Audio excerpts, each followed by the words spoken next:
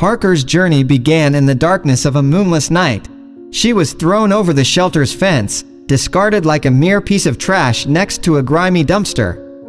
Her silky fur, once lustrous and flowing, now clung to her fragile frame, tangled and matted in a cruel mockery of her former beauty.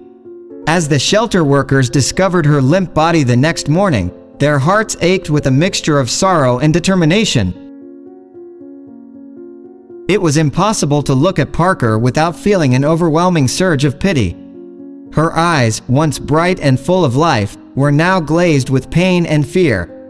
The neglected creature's nails had become so long they wrapped around her tender paws, causing her immense discomfort with each step. Wounds lined her frail body, filled with angry infections that ate away at what little strength she had left. The stench, a sickening amalgamation of neglect and suffering, lingered in the air and etched itself into the memories of all who encountered her. While Parker's plight seemed dire, the shelter staff refused to give up on her. With careful hands and gentle hearts, they performed lengthy procedures to shave her matted fur, treat her wounds, and disinfect her fragile body. Parker started to eat, slowly regaining her strength, and soon her feeble legs found the courage to carry her weight once more. As Parker blossomed under their watchful eyes, the shelter staff became curious about the circumstances that had brought her to their doorstep. Cooperating with law enforcement, they launched a thorough investigation into her case.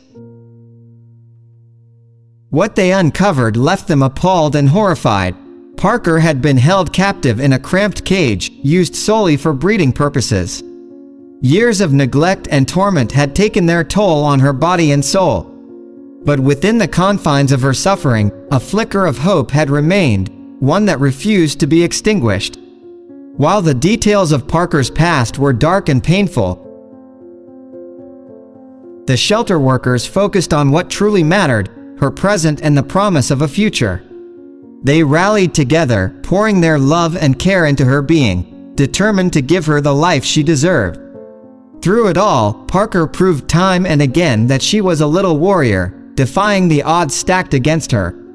She had endured years of suffering, but her spirit, resilient and indomitable, refused to be crushed beneath the weight of her past.